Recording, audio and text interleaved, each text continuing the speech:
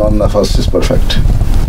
Neither you nor your wife. So, whenever you see any shortcoming in your wife, you should close your eyes and mouth, and the same should be done by her. Try to adopt a habit of forgiveness. No need to be too persuasive in, in small petty things. Mm-hmm.